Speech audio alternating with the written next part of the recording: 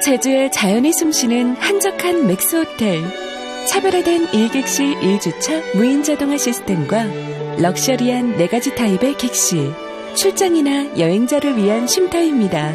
맥스 호텔은 번영로 교통안내센터 사거리 200m 지점에 있습니다.